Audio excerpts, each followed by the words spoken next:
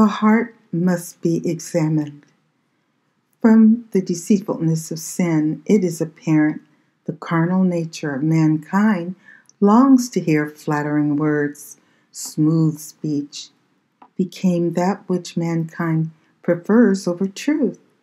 It appears after being flattered by the deceitfulness of sin, mankind seeks the favor of false message providers, of whom the number has and is steadily increasing.